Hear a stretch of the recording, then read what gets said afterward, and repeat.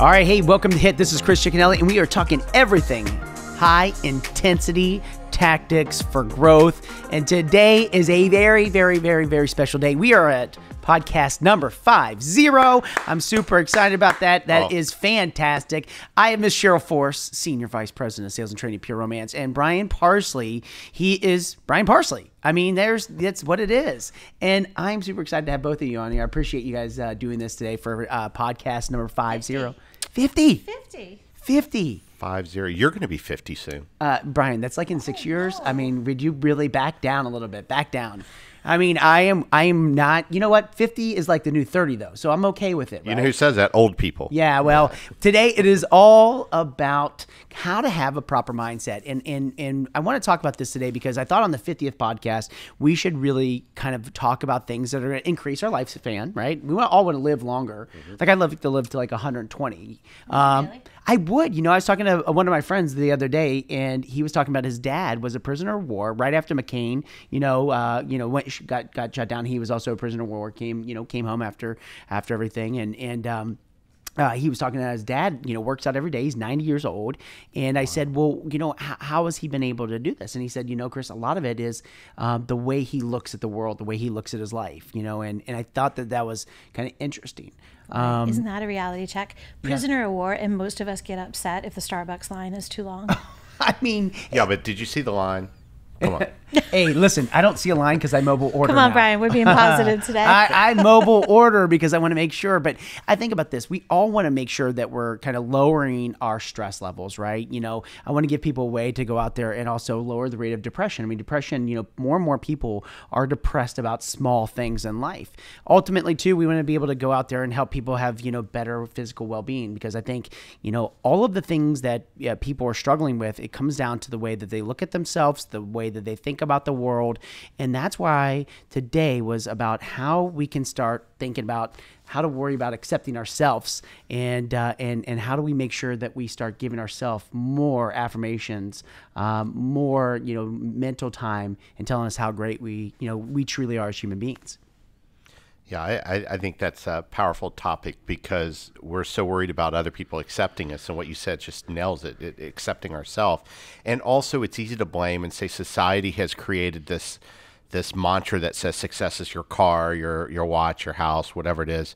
But what if we just switch the mindset to say, what instead of measuring success by those physical metrics, what if we were able to do it based on smiles or moments of happiness within our own life? Mm-hmm, yeah. I, I think it'll compelling compel. I think that argument will will will grow those other things because that just happens. I think.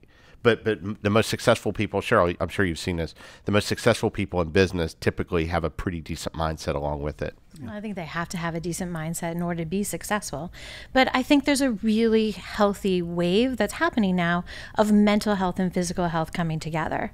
And that manifests itself in personal and business. I mean, you can't have your mind be a garbage can and expect to have good physical health. Right, you're not going to feel good about yourself. You're not going to feel good about the world, and and I agree. I think that our measurement of happiness should definitely be redefined. And I agree with you. It's not about the car. It's not about the house. It's not. It's not about any of those things. If inside the house there isn't joy and happiness. Oh, yeah, that is that is so true. I mean, and I think joy and happiness starts with kind of how we wake up, how we attack the day. You know, I know that uh, you two definitely, uh, you know, are, are very busy. You're very successful at what you guys do. Um, you you have to give yourself to a lot of people, right? You you have you staffs that you run.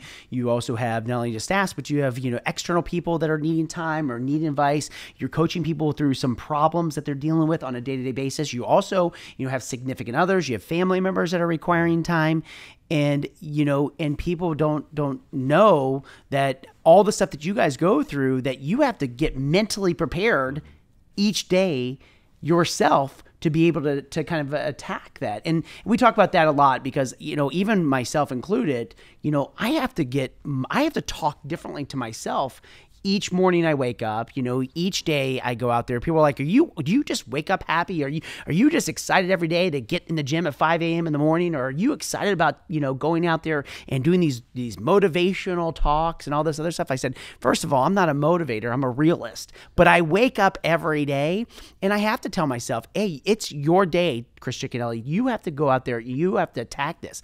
Nobody else is going to get me motivated. It's not that I'm going to wake up and listen to Tony Robbins, you know, talk, or I'm going to listen to Simon Sinek. And I love listening to those podcasts, but they're giving me different tools to deal with things. But to get myself excited, get myself in that right mindset, I think we have to talk to ourselves completely different. It, it's definitely okay to talk to yourself, but if you ever catch yourself saying "huh," that's a problem.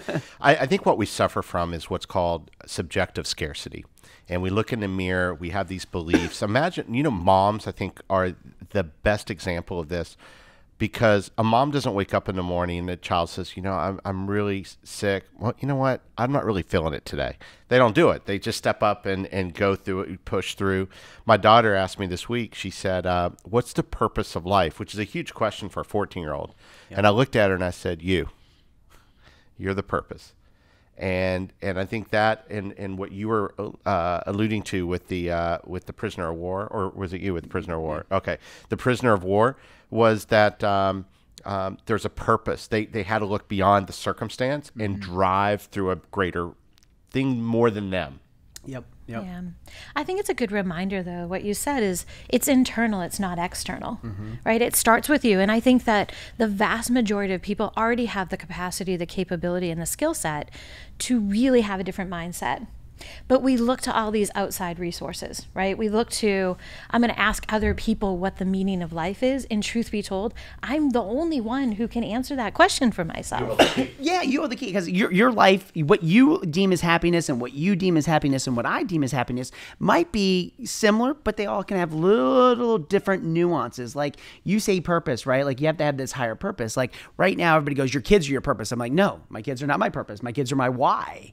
It's a little bit different. Everybody's like, oh, you know, you know, uh, well, what do you mean? I don't understand. I'm like, well, I I'm doing this because each and every day, my why is I want to be able to take care of them. I want to provide for them. I want to be able to make sure that they go to great schools. I want to make sure that they have a great education, that they develop into be good, good human beings. But my purpose is so much greater than that. My purpose is is how do you make the world a better place? How do you you know instill values and show other people different ways of of of living and different life? And you can't do that. You can't make the world a better place. You can't have this higher purpose out there if you're not taking care of the main driving force of all that, which is yourself.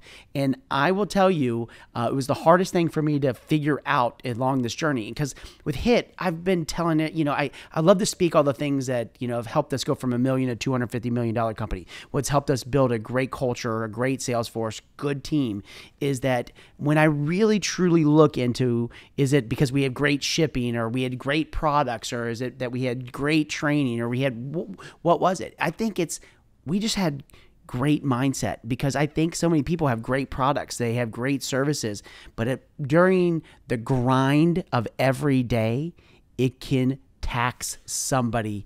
And from there, if you're not mentally strong, not physically, because you got to be mentally strong to go into the gym. You got to be mentally strong to want attack that next day. You got to be mentally strong to go to that next hotel, to sit in an airport for three hour on a on a delay. You got to be mentally strong to when you're coaching somebody and they're giving your problems, not to just go out there and solve their problems for them. All of that takes very, very, very uh, strong mental strength. I, agree. I think um, I love the word strong. Yeah.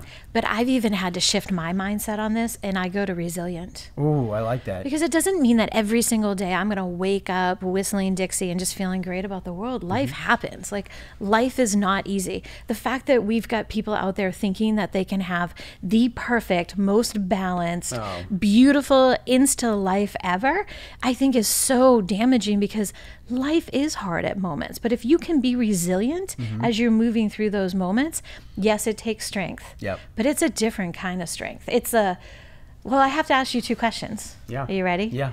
Um, one, when you woke up this morning, you got in late last night, or Yep. I'd say early in the morning. Yeah, Truth be 1:30, told. Um, what did you say to yourself?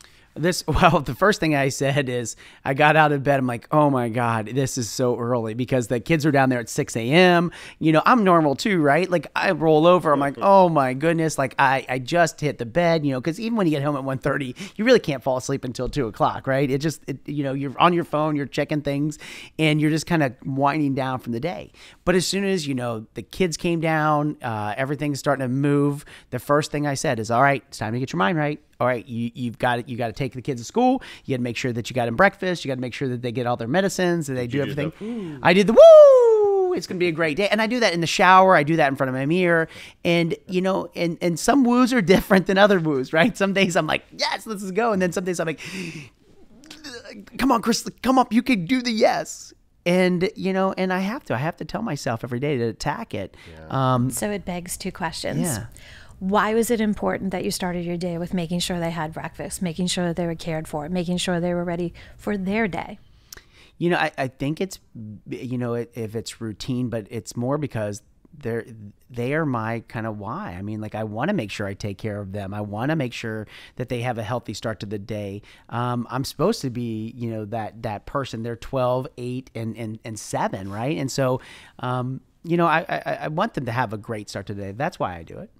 So you're supposed to provide that. What's really mm-hmm. interesting is you set a higher standard for your level of thinking yeah. and what you're also presenting and putting in front of them. Yeah. Because if you had walked into that situation and was really negative and was like, come on, we just have to go out and do this. Yep. You have to get to school. You can't be late. You can't do this. You can't do that. Then what are you setting them up for? You're setting up for bad. And I've had those days where you're like, all right, we're running late. Let's go. Let's get out of the house. And instead, those days are chaotic because their day at school is not good. Their day, you know, they, they come home and they're frustrated for the day. So I've learned that, you know, if when they're getting up and they're getting moving, that we're, we're not using, no, you can't wear that. No, you can't do that. I mean, it's like, hey, I like that outfit, but have you thought it's going to be 50 degrees out? Do you think you might need jeans? No, dad, I'm good okay, your choice, your decision. I'm not going to sit back and force a situation because at the end of the day, I've learned that those those negative things that I put onto them, they start internalizing, they start thinking about it, and I don't want somebody telling me at night, "Hey, Chris, you should be wearing a suit today and not wearing this." Oh, I want to wear this because I'm comfortable, and that's what I did today. I wore I wore my vest. I'm I'm comfortable. I feel good, and that was my mindset this morning. I feel like I'm in the middle of a uh, what is a psychologist session. I love it. and how does that oh, make I you feel, so. Mr. I hope so. Um, you have kind of gathered your own affirmations for yourself, and even though it might not feel like it, come on, I've got to get in the right mindset. Mm-hmm. Is an affirmation that you've developed for yourself. Yes. So how do you think other people can adopt that mindset? Because I know when I'm around other people and they're asking me about how you operate, mm-hmm. they're always like, is he always like this? Is he human? Does he sleep? Does he ever take a break? And is he always that positive? And I'm like, well, he's human. Yeah. So he's going to have good days, bad days, and all the twists and turns that we all go through. Yeah.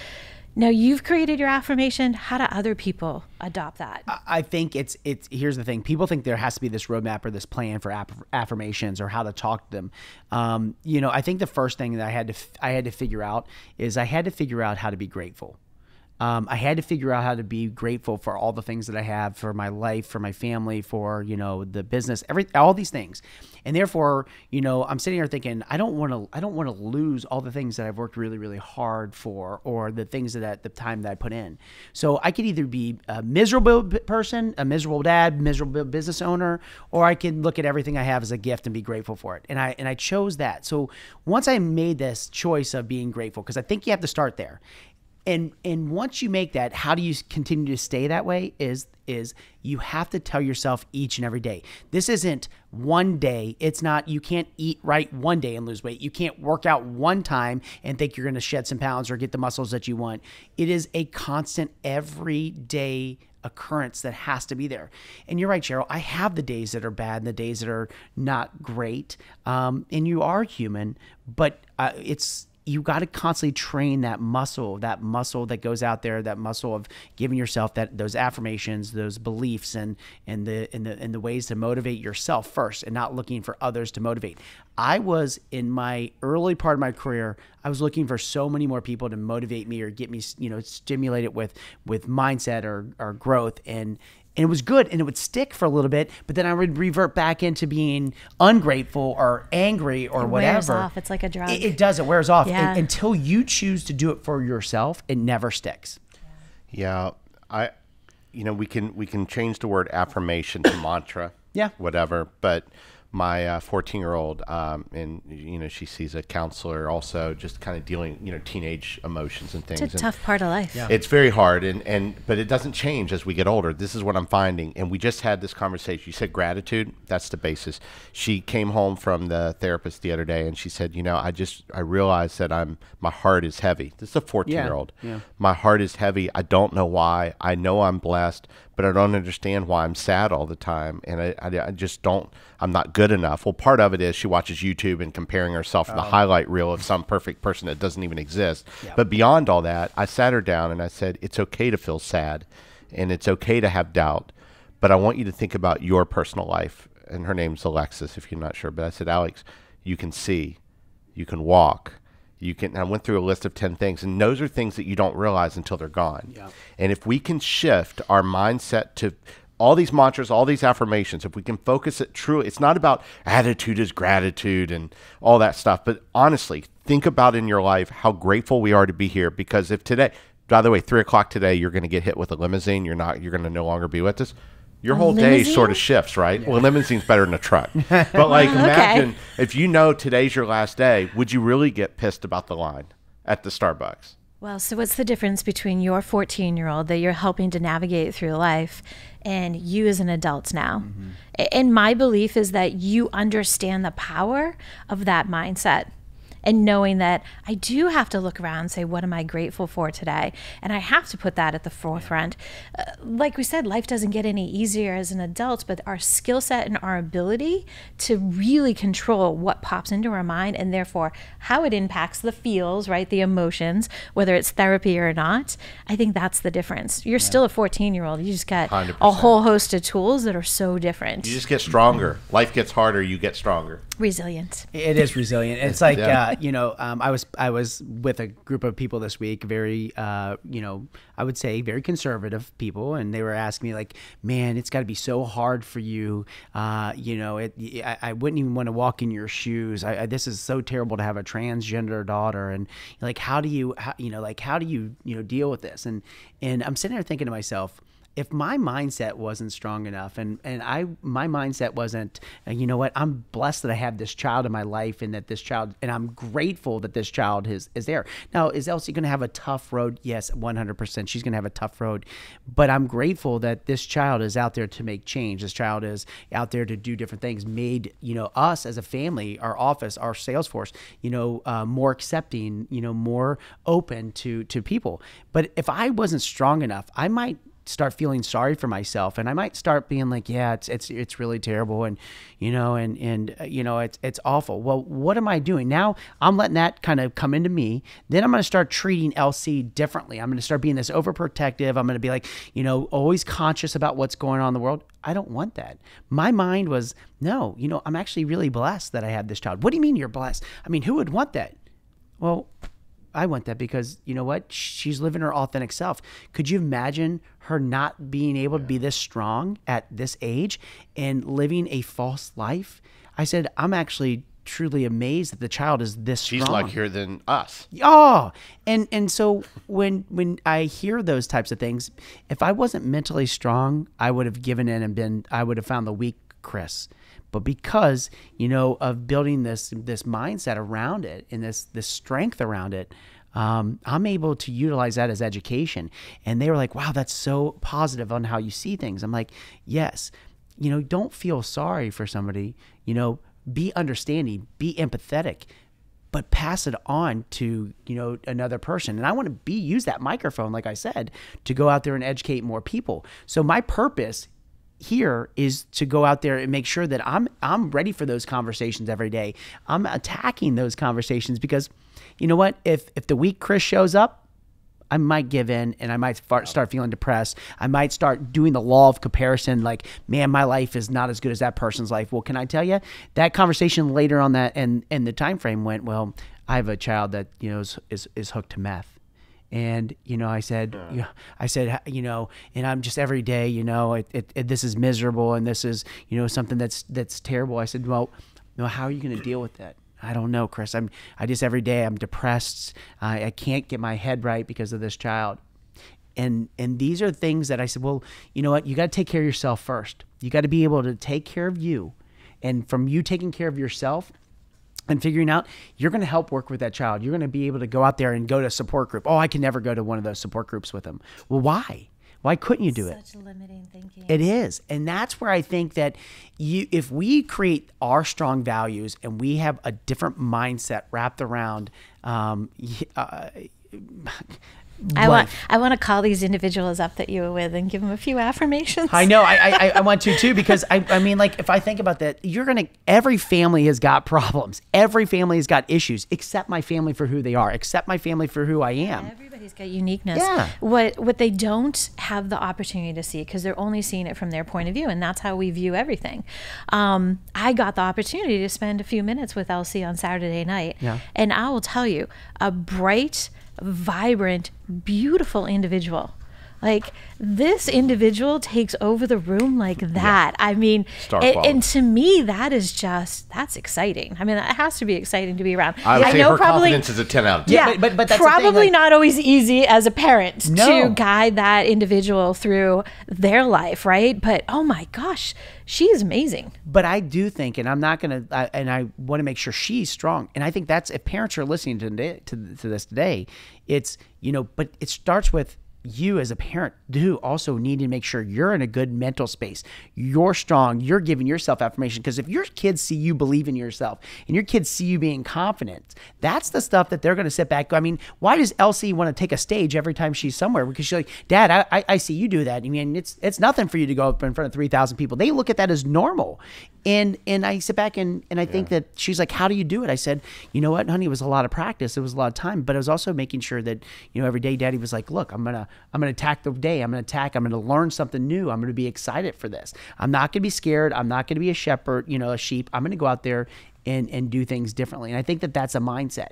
I think both of you probably see so many people when you're out speaking and talking to people that want to make a change. They come up to you afterwards and and they're like, "Man, you know, I just I want a better life. I want to make more money. I want to I want to do something different." And you probably sit back and, and probably say the same thing to them. The only way change is going to happen is if, if you change your behaviors, you change yourself. I don't know what your advice to people is. Well, like I, I would say don't don't stop worrying about you're going to be seen as a fraud because that goes back to acceptance of others. Do it and know that you're going to screw up. Know that you're going to make mistakes. Know that it's always not going to be perfect. So I would I would believe, and what we do with the kids is we actually write things on their mirror. Uh, with uh, this, uh, you can so erase it cool. kind of stuff. So we'll write little uh, affirmations or a statement. So th- it forces them to see it, even on an unconscious level. But come up with a financial one. Come up with a personal one. Come up with a gratitude one. Maybe two or three good ones that resonate for you. You don't have to live with it your whole life, but will get you through those times. So when I talk to consultants that are in, in your business that, that say, you know, I'm just struggling, like I feel like people aren't going to buy from me. I was like, your mantra needs to be, I'm financially independent. I do not need to make a sell. I'm financially independent. I do not need to make a sell. And it's not that you don't want to sell, Yeah. but you're going in with the attitude of more of, I'm here to serve and help, not, oh my God, I hope they buy something because I need gas money.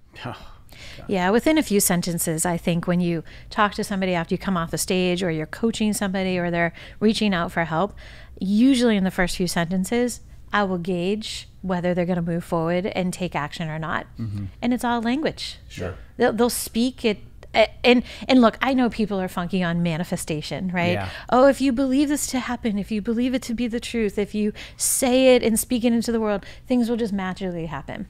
Um, I like to believe unicorns are real as well. Yeah. I'm also a realist, and I mm-hmm. know it takes action. Yeah. And that comes in their language. And they will literally say whether they're going to go after it or not. Mm-hmm. I don't even have to ask the question. Yeah, and I think that you're absolutely right. And I think the action is the step that most people you could you could want to do a lot of stuff, but if you're not taking action, uh, it's it's just. I've been gonna happen. manifesting hair for a while, and it only grew on my back. Well, be grateful. It grew somewhere. Well, I can tell you right now. Uh, I know that this is our 50th podcast, and I really appreciate you guys getting on here. But is there is there something that you guys tell yourself every? And you you tell I, I tell what I do every morning. Is there something that you do in the morning, the afternoon, before you go to bed? Is there something that you breathe into your into your own life each and every day? Because I'm telling you, as a business owner, as a whatever you are out there right now, if you're an entrepreneur, you're working for somebody, you're trying to you know move better, move forward in, in life.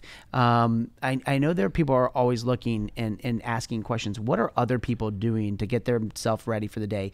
And if you don't do anything, that's fine too. I just want to. I'm know. glad you just asked. The, said the last statement. Uh, if you don't do anything, that's fine. I don't think I do anything intentionally, uh, but I do do things that, I'm, as we're sitting here talking, that I didn't realize I do. Uh, something as simple as I, I say constantly for myself, I want to be the father that I wish I had. Yeah. um, and uh, and I'm going to make a difference in people's lives. But these are things that I say to myself so I don't, um, you know, jump off the bridge. But but at the same time, I don't realize. But now now that we're having this discussion, I'm thinking I need to put a post-it note on my bathroom mirror again so I can see it. So I'm not going to. But, but but I will say that on a non-conscious, unconscious, or habit perspective, I am saying things to myself uh, in a positive manner uh, because I know that if I I'm tofu, I become what I'm around. Yeah. And I tell you, one of the hardest So many decisions people that do. So many people do that. and and, I, and I'm going to tell you that the, the hardest decision I've made, even recently with an individual, is just cut them out of my life. And and it's not because I don't like them or respect them. It's because they're negative and and drama follows them. Yeah. And and and you are what you're around. And I just realized it's not healthy. Yep. And so anyway, it's been nice knowing you, Chris. uh, no, I'm kidding. But but that that person's gone, and Yeah. and I will say a weight was lifted off because I found myself trying to always please, so I so not to upset the apple cart. That's not healthy. no. But but if this mindset, so in the mantra, those are the things. But my my children are going to be my number one my number one thing that I I might screw up my life. I don't want to screw up generation oh. 2.0. Yeah. Sure. Yeah, I mean, I've really made an intentional effort to show up as my best self in moments when I really sometimes don't feel like I have it. Um, I, I mean, I had a really crappy Monday morning this week. Um, and I- then had to sit down and write a speech that I hope people were inspired by and connected to, and it helped them. And I couldn't do that with that mindset of, oh, it's a crappy Monday morning. Yeah. Um, I had to be like, I. I have to shift this. And so I'm being way more intentional to be like, if I want other people to show up in this space as their best selves, then I have to do that. So I had to just take a mental moment and go, okay, that doesn't serve you. What will serve you? Shift the mindset Yeah.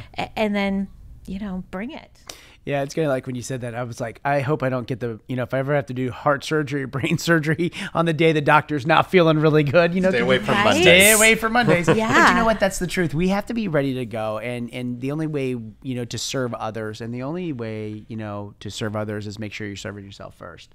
And uh, I want to tell you both. You both have had very. Wait, I have one question Yes. because I said I was going to ask you to. Yeah, okay. Ask it. Are Okay, all right. Okay. Um, why do you want the world to be a better place? Um, I, oh, that's very simple. That's a very simple place because there's going to be a time that I'm not here, and there's going to be a time that my children are living here, and I want to make sure that you know they live in an area that's positive. They live in an area that's inclusive. They live in a, in a community that people want to that there's the values. You know, the golden rules. Treat you know treat everybody um, with class, with grace. You know, and and respect. And I think you know, when I look at it, that's what we, we want. In a, in a world right now today, a lot of people are sitting there saying, uh, the world is, you know, it's changing. You know, less and less people are communicating, less and less people are connecting you know, I, I think we can be conduits for change. I think we can go through and teach our our children values.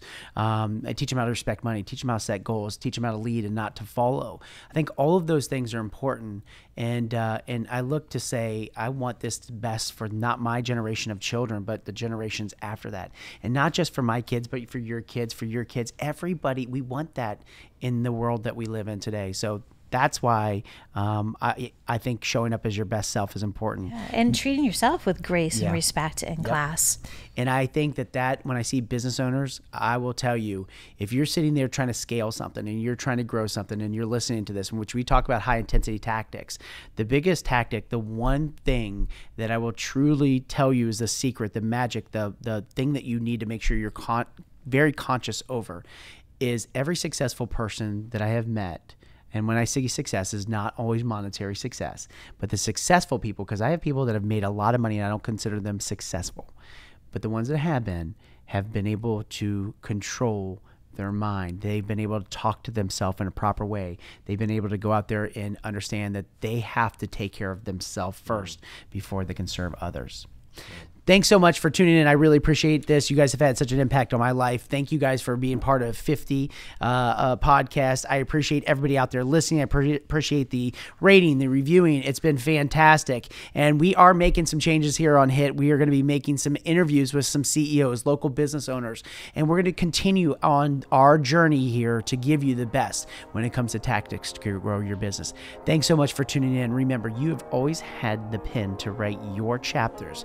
Make sure you're living life by design. Have a great day.